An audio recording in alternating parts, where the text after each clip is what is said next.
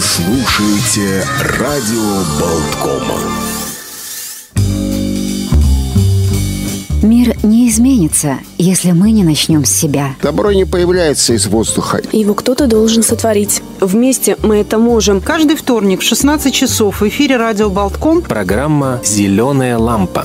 А те, кто без нас не справится с бедой. И для тех, кто хочет помогать. Включи зеленую лампу, сделай звонок на благотворительный телефон. И подари надежду. Телефон для благотворительных звонков. 930 63 84. Плата за звонок 1 евро 42 цента. Добрый день. Сегодня вторник, День добрых дел на радио Болтком. В эфире программа «Зеленая лампа». Программа о тех, кому нужна наша помощь, и для тех, кто хочет помогать. И ведут ее Ольга Авдевич сегодня. Я Рита Трошкина. А у нас сегодня гость в студии архиепископ митрополит Римско-католической церкви в Латвии Збигнев Станкевич. И мы э, ждали господина архиепископа и пр- просим прощения за маленькую задержку э, со связью. И сегодня мы очень хотим говорить про Рождество и про добрые дела. Добрый день. Добрый день. Наша программа помогает сегодня маленькому мальчику Эвертсу Залтону. Ему 8 лет, он родился незрячим, и вот сейчас семья очень просит нашей помощи. И телефон наш традиционно мы включаем а, на, на неделю для маленького Эвертса 9306384. И э, господин архиепископ помогает нам уже не в первый раз делать это доброе дело. И чуть позже мы отчитаемся перед господином архиепископом за э, добрые дела и расскажем, как дела у тех деток наших подшефных, которым мы помогали вместе, когда э, Збигнев Станкевич был э, гостем нашей программы. А в начале такой вопрос. Э, в этом году вы отметили десятилетний юбилей э, своего служения в сане рижского архиепископа-митрополита. А что вы сами считаете самым важным лично для себя вот итогом этого десятилетия? Ну, итоги довольно обширны. Когда я начал подсчитывать, ну, как бы просматривать, что произошло, то есть много таких измерений. Э, Но касательно благотворительности, то я очень доволен тем, что мы э, рестартовали э, так называемая Caritas. Э, Это католическая благотворительная организация, которая существует во всем мире. И э, в Латвии теперь мы запустили, так сказать, начали работать где-то в более чем э, 17 уже э, приходах. Есть группы, которые помогают э, ну, тем, которые нуждаются в помощи. Э, скажем, при нашем кафедральном соборе уже где-то 9 лет есть эта группа, каждое воскресенье они готовят, скажем, э, ну, пакеты с продовольствием для тех, которые сами там не справляются, и помогают тоже индивидуально, ну, тем, которые имеют там разные проблемы. Э, Ну и наподобие есть в других приходах. И это мы хотим в идеале, чтобы в каждом приходе была такая группа прихожан, которая занимается этим благотворительностью. Потом следующий проект называется Бетлемес Майя или Вифлеемский дом. До милосердия. Мы праздновали уже девятую годовщину. Это центр рехабилитации для э, ну, людей с зависимостями там, от алкоголя, наркотиков, игорных автоматов, и бывшие заключенные, которые выходят из тюрьмы. Я знаю даже вот такие, слу- о таких случаях, что начальник тюрьмы из женской тюрьмы звонит, э, ну, скажем, руководителю нашего центра и говорит, вот у нас заключенная, она выходит на свободу, ей некуда идти, можете ли вы ее у себя приютить? Ну и мы так делаем. Э, Вот это, я этим очень доволен. Потом у нас Радио Мария, Латвия. уже отпраздновали пятилетний юбилей. И, э, наконец, они уже, я бы сказал, встали на ноги. Потому что до сих пор, именно до этого года, было так, что, ну, скажем, это фамилия общемировая Радио Мария помогали содержать это радио, потому что оно не коммерческое. Оно существует на пожертвование э, слушателей. И в этом году впервые, это где-то, когда пандемия началась, я директору радио сказал, предлагай другим конфессиям, так сказать, товарищам по несчастью, э, что э, мы можем передавать тоже ваши богослужения, чтобы ваши верующие, которые из-за ограничений не могут участвовать в богослужении, чтобы они могли посредством радио участвовать. И, в принципе, там откликнулось несколько конфессий, и это содействует такому, ну, скажем, э, скажем, э, хорошему климату среди христиан. И потом я тоже очень доволен сотрудничеством именно в этом году с нашими братьями православными, лютеранами, баптистами, адвентистами и другими, и именно насчет ограничений. Угу. Потому что мы находимся в таком тесном диалоге с государственными структурами, которые э, представлены э, Министерством юстиции, и мы очень так кропотливо ведем диалог насчет каждого ограничения и достигаем консенсуса. Это требует много энергии, времени, терпения с обоих сторон. Но во время пандемии у нас в Латвии храмы были всегда открыты и остаются открытыми. В отличие от многих стран в Европе, где они просто захлопнули дверь и запретили людям туда приходить. И я во всеуслышание это говорил и призывал наше государство, говорю так, не единым хлебом жив человек, и что духовный хлеб для верующего не менее важен, чем э, материальный хлеб. И поэтому, так как вы не ограничиваете работу хлебных магазинов, то вы не можете ограничить тоже действие церкви и участие в богослужениях. Конечно, мы соблюдаем э, там ограничения, что надо быть в маске, что надо соблюдать дистанцию, дезинфицировать руки и тому подобное. Но э, запретить доступ полностью, ну, это как бы зажать, что ли, глотку, что ты не можешь дышать, э, ну, в своей душе, в своем духе, в богообщении. И этим я очень доволен, что мы взаимно поддерживаем друг друга, мы понимаем друг друга, мы познали гораздо лучше друг друга через этот общий диалог. И благодарны тоже государству, что оно подошло с пониманием к тому, вот, ну, что мы им рассказываем. Ну, скажем, вот эти такие, э, такие некоторые, некоторые аспекты.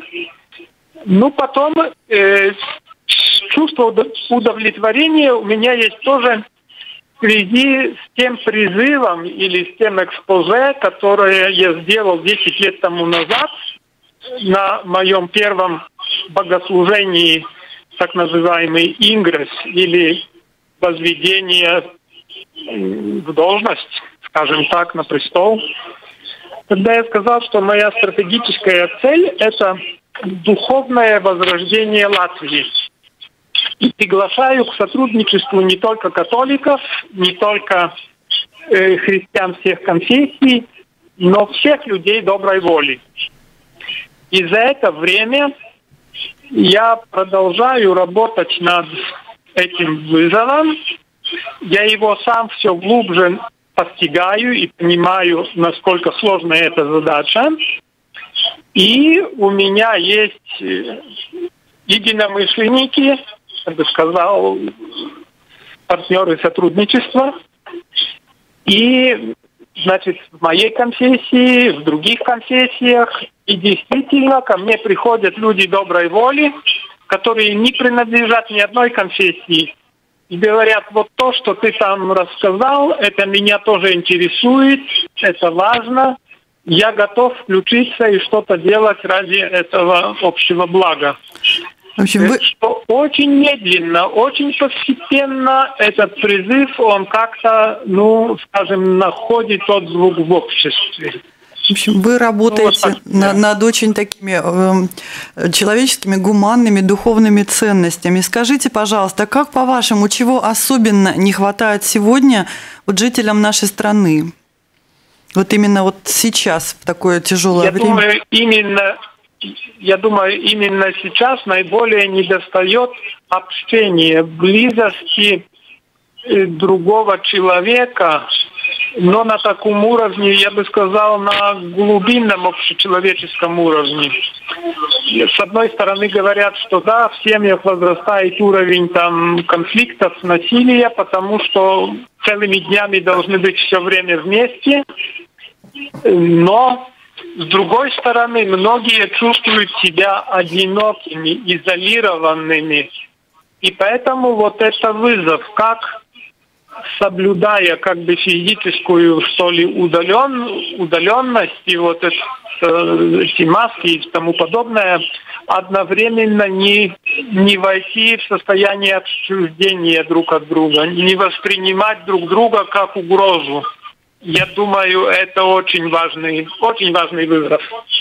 Вы знаете, э, очень приятно слышать э, такие формулировки. Вот наша программа, в общем-то, э, преследует своей целью тоже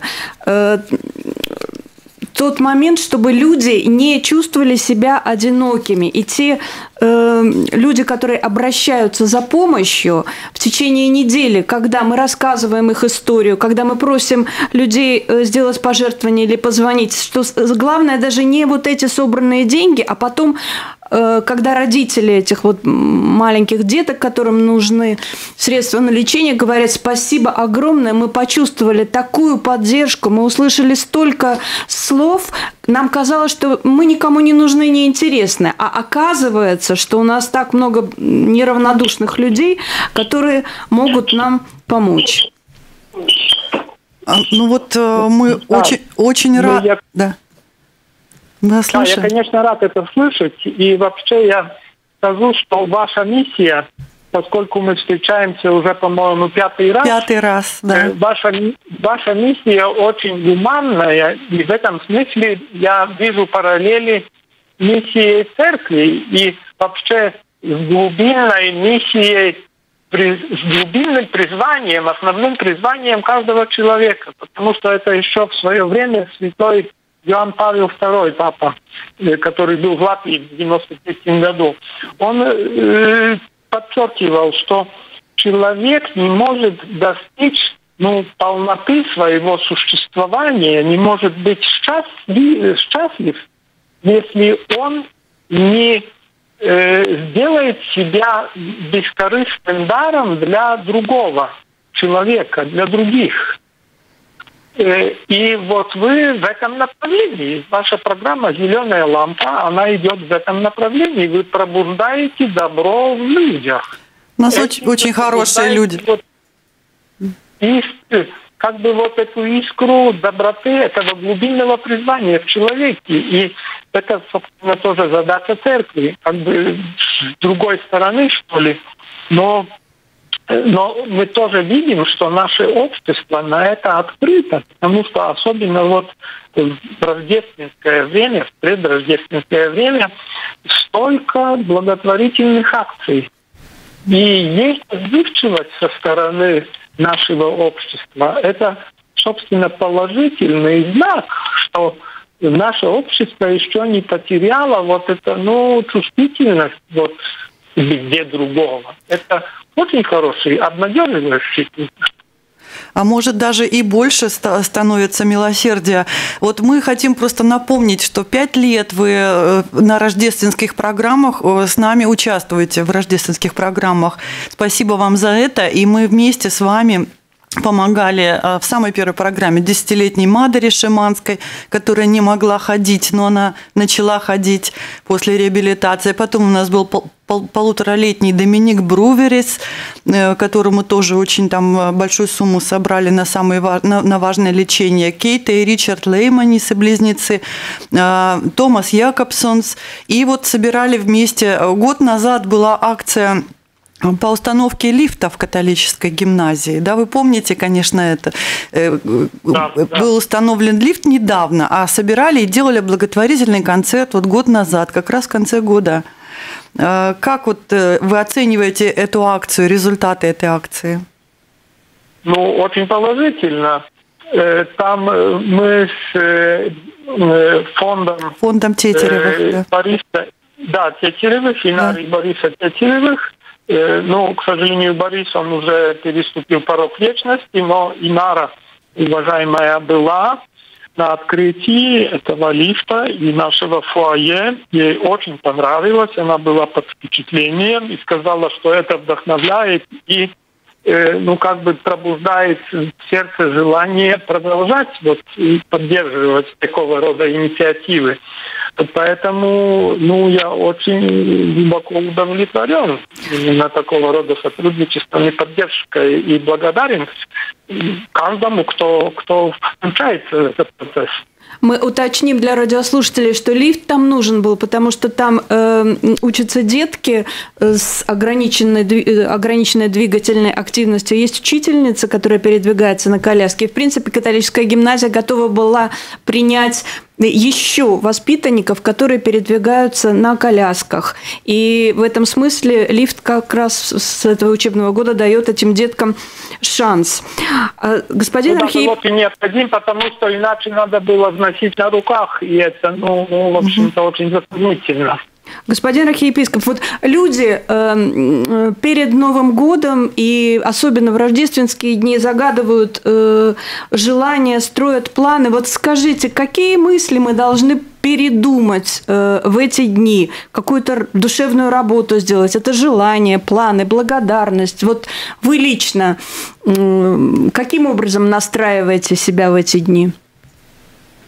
Ну, знаете, в эти дни они у меня очень интенсивные. Как архиепископ Анок сказал, когда мы там диалог вели, и нам хотели э, эти книжные и там э, с этими духовными принадлежностями наши эти ларки или как их там назвать э, закрыть по воскресеньям. Он сказал, что у нас, у священнослужителей, как раз воскресенье – это рабочий день это закрывали в выходные дни. И, в общем-то, это совершенно бессмысленно, э, что э, у нас праздничные дни очень интенсивные, но, скажем, я вот как раз на завтра, на завтра планирую как бы быть немножко в уединении, в праздничном уединении, подумать над тем, какое послание передать э, людям – во время праздников и немножко выключиться. И я думаю, что в этом году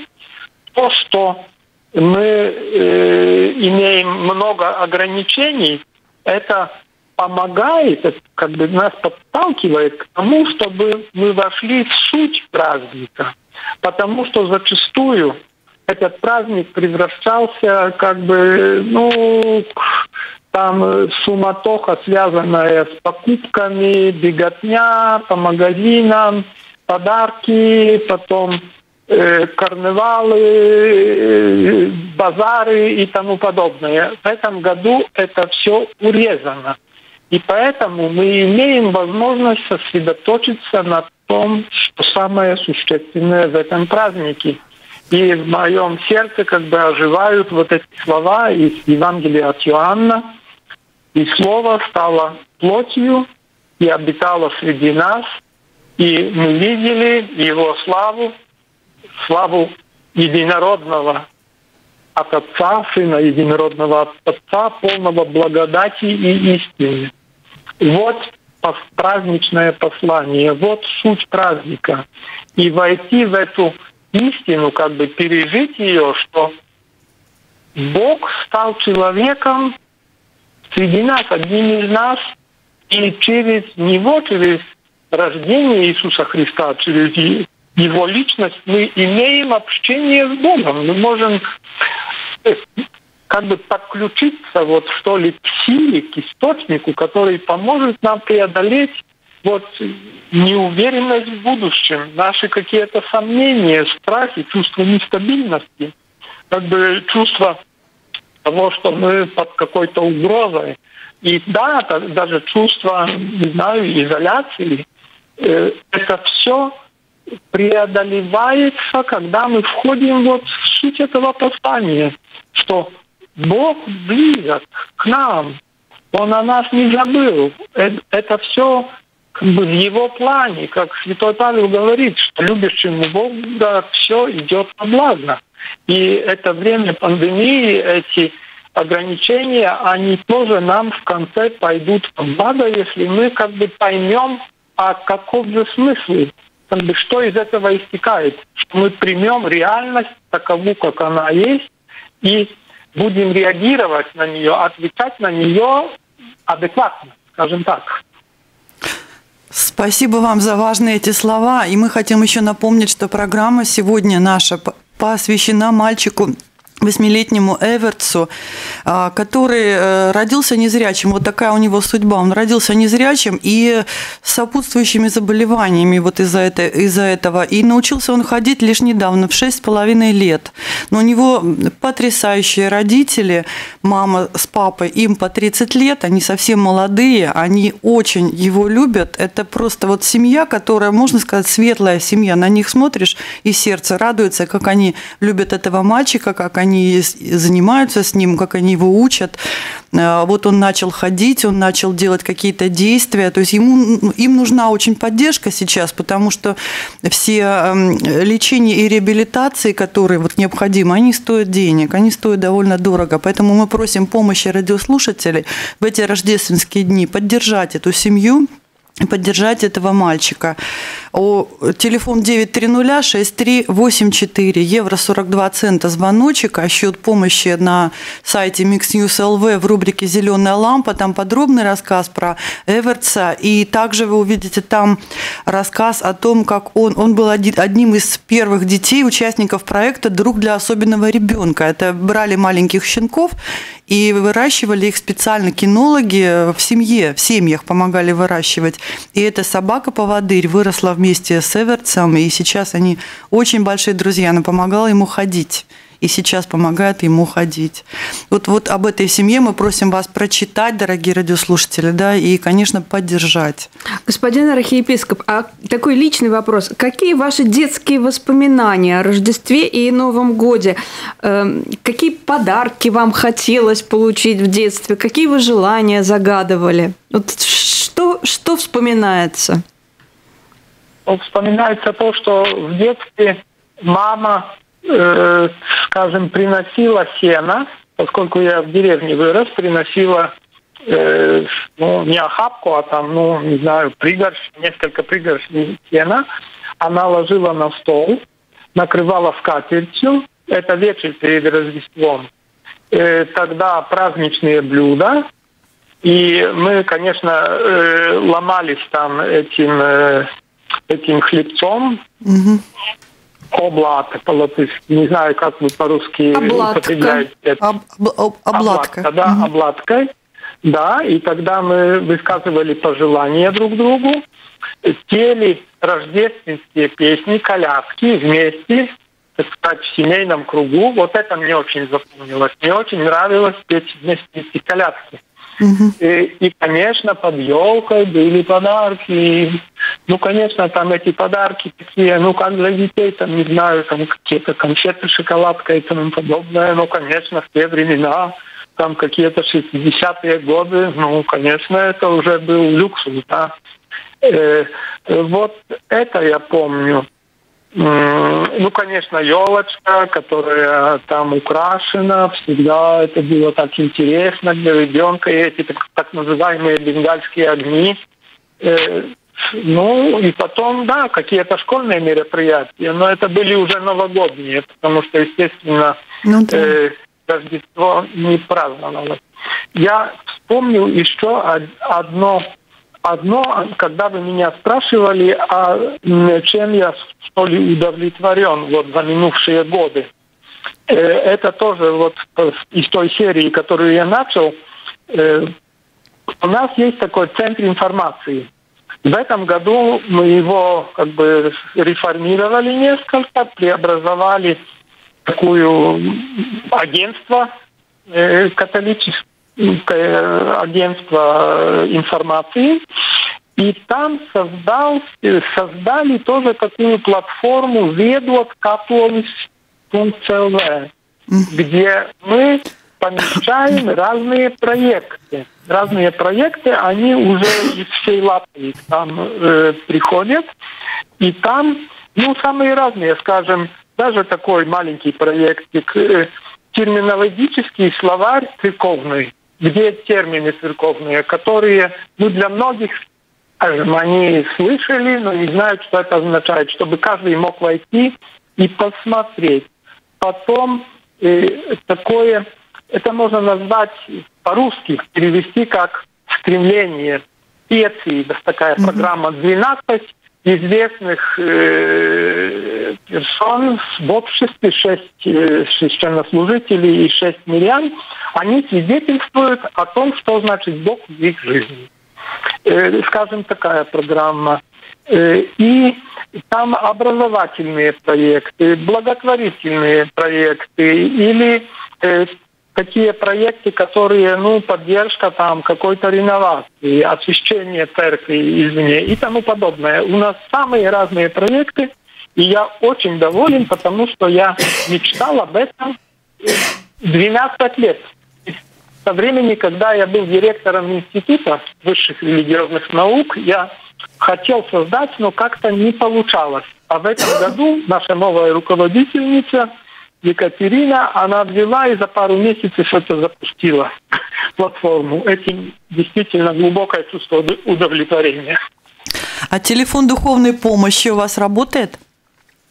Работает, да. Это как раз во время пандемии. И, кстати, это наши ну, скажем, э, как это, ну, монашеское, монашеское сословие, что ли. Это члены разных религиозных конгрегаций, монастырей, орденов. Они объединились, и они дежурят, ну, вот целый, скажем, там, с 9 до, по-моему, 17 этот телефон работает. Они, э, да, отвечают на звонки и оказывают поддержку всем нуждающимся. А мы а мы призываем э, вас, э, наших радиослушателей, сделать звонок. Да? Наш телефон 9306384 евро 42, как мы говорим, это меньше, чем чашка кофе или шоколадка. И помочь маленькому незрячему мальчику, который родился с целым букетом заболеваний. Ему, бедолаге, приходится в жизни очень непросто, но он умница и молодец. Он сейчас ходит в обычный детский сад. Это огромное достижение. И вот э, так как родители сейчас в сложной ситуации, папа по образованию историк и работал гидом, водил экскурсии на иностранных языках по Риге. Понятно, что сейчас он остался без работы. Вот. И наша помощь в канун Рождества будет очень-очень важна для этой семьи. Нам нужно 2600 евро собрать, и мальчик целый год будет получать дважды в неделю специальные занятия. И этому помогут вот, вот ваши звоночки 9306384. А мы, э, к сожалению, программа уже быстро очень к концу подходит. Мы попросим наш нашего гостя, господина архиепископа Станкевича, а, пожелать нашим радиослушателям и читателям что-то такое вот важное предрождественское. Тем и более, вообще всем жителям да, Латвии, что нашей впер- страны. Впервые оказались люди перед Рождеством в такой странной ситуации, вот как в этом году. И очень хочется услышать что-то такое обнадеживающее. Да, ну, во время Рождества, рождественское время – это такой особый период года, когда это занавес, отделяющее видимый мир от невидимого, становится очень тонкой. И достаточно иметь одну искорку веры, чтобы смочь как бы приступить этот порог и как я говорил, что вот подключиться к источнику, к божественному источнику и наполниться просто миром, наполниться, что все тревоги, все напряжения, они как-то вот рассасываются, они куда-то уходят, и тогда в нас рождается надежда на, на, на то, что как бы уверенность в том, что Господь с нами. Вокруг нас тоже есть хорошие люди, которые, с которыми мы можем общаться, ну что ли, на одной волне. И э, тогда просто-напросто после праздников мы выходим уже, опять входим в наши будни, э, что ли, обновленными, наполненными с новой силой, с новым положительным взглядом. Вот я желаю для каждого иметь эту искорку веры и переступить вот эту занавесу, как бы войти за занавесу и наполниться этой, этой реальностью, божественной реальностью, божественным присутствием, э, которое преобразовывает человека и наполняет его бескорыстной доброжелательностью к окружающим и делает его способным да, на, на то, чтобы жертвовать собой в случае необходимости ради другого. Но ведь Желаю это... вот это да. Очень, очень трудно человеку жертвовать собой, очень трудно поставить другого э, выше, чем себя. Вот как с этим справляться? Э, ну, Иисус Христос говорит возлюбить ближнего как самого себя. Значит, если ты не любишь себя, то не можешь любить ближнего. И что значит любить себя по-настоящему? Я говорю, что человек имеет три измерения бытия. Физическое, психологическое и духовное. Любить себя – это э, как бы брать, принимать во внимание вот эти все измерения своего бытия и что, ли, что и удовлетворять нужды каждого измерения, в том числе духовного. И когда вот ты работаешь на этом уровне, удовлетворяешь как бы и, и считаешься с ограничениями и нуждами каждого из уровней, ты способен выйти к другому как бы адекватно, уже не используя его как инструмент для достижения собственных целей, но помогая ему тоже достичь полноты его существования. Вот, вот на этом уровне проходит работа. Да, а потом еще апостол говорит, что невозможно человеком, то возможно Богу. Если я осознаю, что себя не могу генерировать вот эту доброту, я знаю, где есть источник, где есть источник доброты. Апостол говорит, Бог есть любовь. И пребывающий в Боге, он, э, он из себя излучает доброту и любовь. Да, и он, э, как апостол говорит, все могу в укрепляющем меня Господи. И девиз, мой епископский девиз, «Фортитудо моя доминус», «Господь крепость моя». Благода... Вот, благодарим вас. Благодарим от всего сердца за э, такую важную беседу и желаем вам тоже здоровья, радости и счастливого Рождества. Спасибо вам большое. С Рождеством вас да, и с Новым годом. Всего доброго. До встречи. До встречи.